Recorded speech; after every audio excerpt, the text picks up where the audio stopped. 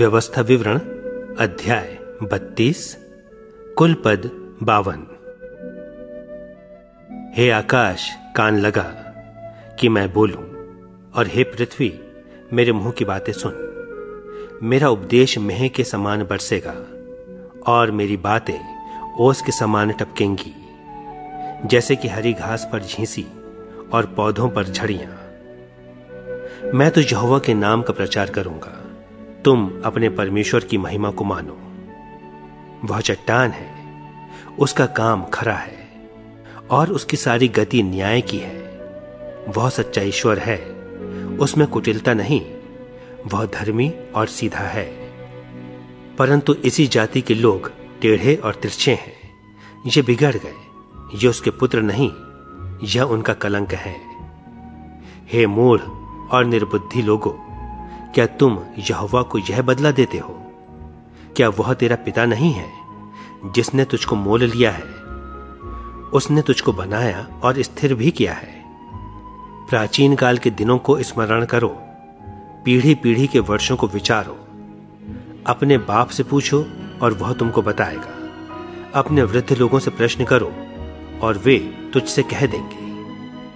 जब परम प्रधान ने एक एक जाति को निज निज भाग बांट दिया और आदमियों को अलग अलग बसाया, तब उसने देश देश के लोगों के सिवा ने इसराइलियों की गिनती के अनुसार ठहराए, क्योंकि यहोवा का अंश उसकी प्रजा है, याकूब उसका नपा हुआ निज भाग है। उसने उसको जंगल में और सुनसान और गरजने वालों से भरी हुई मरुभूमि में पाया। उसने उसके चहू ओर रहकर उसकी रक्षा की और अपनी आँख की पुतली के समान उसकी सुधि रखी। जैसे उकाब अपने घोंसले को हिला हिलाकर अपने बच्चों के ऊपर मंडलाता है, वैसे ही उसने अपने पंख फैलाकर उसको अपने परों पर उठा लिया। यहोवा अकेला ही उसकी अगुवाई करता रहा और उसके संग कोई पराया देवता न था। उसने उसको पृथ्वी के ऊँचे ऊँचे स्थानों पर सवार कराया और उसको खेतों की उपज खिलाई। उसने उसे चट्टान में से मधु और चकमक की चट्टान में से तेल चुसाया।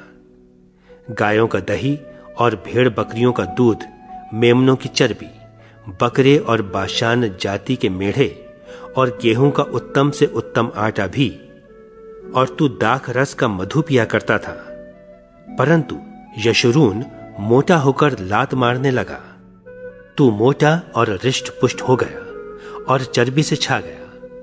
तब उसने अपने सृजनहार ईश्वर को तज दिया और अपने उद्धार मूल चट्टान को तुच्छ जाना। उन्होंने पराय देवताओं को मानकर उसमें जलन उपजाई और घृणित कर्म करके उसको रिस दिलाई। उन्होंने पिशाचों के लिए जो ईश्वर ना थे, बलि चढ़ाए। और उनके लिए वे अनजाने देवता थे। वे तो नए नए देवता थे, जो थोड़े ही दिन से प्रकट हुए थे और जिनसे उनके पुरखा कभी डरे नहीं। जिस चट्टान से तू उत्पन्न हुआ, उसको तू भूल गया और ईश्वर जिससे तेरी उत्पत्ति हुई, उसको भी तू भूल गया है। इन बातों को देखकर यहोवन ने उन्हें तुच्छ जाना, क्योंकि उसके बेटे बेटियों ने उसे रिस दिलाई थी। तब उसने कहा, मैं उनसे अपना मुख छिपा लूँगा और देखूँगा कि उनका अंत कैसा होगा, क्योंकि इस जाति के लोग बहुत टेढ़े हैं और धोखा देने वाले पुत्र हैं। उन्होंने ऐसी वस्तु मानकर, जो ईश्वर नहीं है, मुझमें जलन उत्पन्न की और अपनी व्यर्थ वस्तुओं के द्वारा मुझे रिस दिलाई। इसलिए मैं भी उनके द्वारा जो मेरी प्रजा नहीं है, उनके मन में जलन उत्पन्न करूँगा और एक मूढ़ जाति के द्वारा उन्हें रिस दिलाऊँगा। क्योंकि मेरे कोप की आग भड़क उठी है, जो पाताल की तह तक जलती जाएगी और पृथ्वी अपनी उपज समेत भस्म हो जाएगी और पहाड़ों की नेवों में भी आग लगा देगी। मैं उन पर विपत्ति पर विपत्ति भेजूँगा और उन पर मैं अपने सब तीरों को छोड़ूँगा। वे भूख से दुबले हो जाएँगे और अंगारों से और कठिन महारोगों से ग्रसित हो जाएँगे।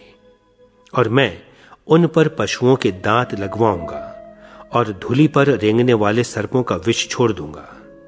बाहर वे तलवार से मरेंगे और कोठरियों के भीतर भय से। क्या कुंवारे और क्या कुआरियाँ क्या दूध पीता हुआ बच्चा, क्या पक्के बाल वाले सब इसी प्रकार बर्बाद होंगे। मैंने कहा था कि मैं उनको दूर दूर तक तितर बितर करूँगा और मनुष्यों में से उनका स्मरण तक मिटा डालूँगा। परंतु मुझे शत्रुओं की छेड़छाड़ का डर था।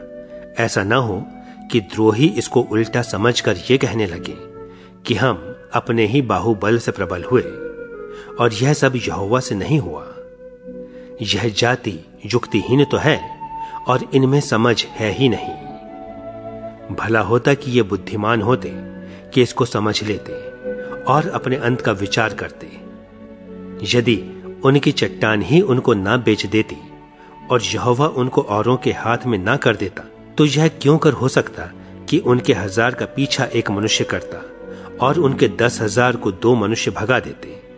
क्योंकि जैसी हमारी चट्टान है, वैसी उनकी चट्टान नहीं है। चाहे हमारे शत्रु ही क्यों ना न्यायी हो।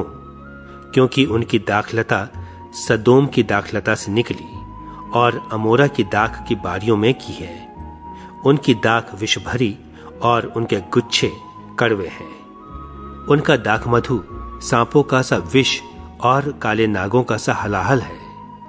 क्या यह बात मेरे मन में संचित और मेरे भंडारों में मोहरबंद नहीं है? पलटा लेना और बदला देना मेरा ही काम है। यह उनके पाँव फिसलने के समय प्रकट होगा, क्योंकि उनकी विपत्ति का दिन निकट है, और जो दुख उन पर पड़ने वाले हैं, वे शीघ्र आ रहे हैं। क्योंकि जब यहोवा देखेगा कि मेरी प्रजा की शक्ति जाती रही, और क्या बंधुआ और क्या स्वाधीन उनमें कोई बचा नहीं रहा, तब यहोवा अपने लोगों का न्याय करेगा, और अपने दासों के विषय तरस खाएगा। तब वह कहेगा उनके देवता कहाँ है? अर्थात, वह चट्टान कहाँ जिस पर उनका भरोसा था? जो उनके बलिदानों की चर्बी खाते और उनके तपावनों का दाख मधु पीते थे, वे ही उठकर तुम्हारी सहायता करें और तुम्हारी आड़ हों। इसलिए अब तुम देख लो कि मैं ही वह हूँ और मेरे संग कोई देवता नहीं। मैं ही मार डालता और मैं ही जिलाता भी हूँ। मैं ही घायल करता और मैं ही चंगा भी करता हूँ। और मेरे हाथ से कोई छुड़ा नहीं सकता, क्योंकि मैं अपना हाथ स्वर्ग की ओर उठाकर कहता हूँ, क्योंकि मैं अनंत काल के लिए जीवित हूँ। सो यदि मैं बिजली की तलवार पर सान धर कर झलकाऊं और न्याय अपने हाथ में ले लूँ तो अपने द्रोहियों से बदला लूँगा और अपने बैरियों का बदला दूँगा। मैं अपने तीरों को लहू से मतवाला करूँगा और मेरी तलवार मांस खाएगी। वह लोहू मारे हुओं और बंधुओं का और वह मांस शत्रुओं के प्रधानों के शीश का होगा। हे अन्य जातियों उसकी प्रजा के साथ आनंद मनाओ, क्योंकि वह अपने दासों के लहू का पलटा लेगा और अपने द्रोहियों का बदला देगा और अपने देश और अपनी प्रजा के पाप के लिए प्रायश्चित देगा। इस गीत के सब वचन मूसा ने नून के पुत्र होशे समेत आकर लोगों को सुनाए। जब मूसा ये सब वचन इसराइलियों से कह चुका, तब उसने उनसे कहा कि जितनी बातें मैं आज तुमसे चिता कर कहता हूँ, उन सब पर अपना मन लगाओ और उनके अर्थात इस व्यवस्था की सारी बातों के मानने में चौकसी करने की आज्ञा अपने लड़के बालों को दो। क्योंकि यह तुम्हारे लिए व्यर्थ काम नहीं, परंतु तुम्हारा जीवन ही है, और ऐसा करने से उस देश में तुम्हारी आयु के दिन बहुत होंगे, जिसके अधिकारी होने को तुम यर्दन पार जा रहे हो।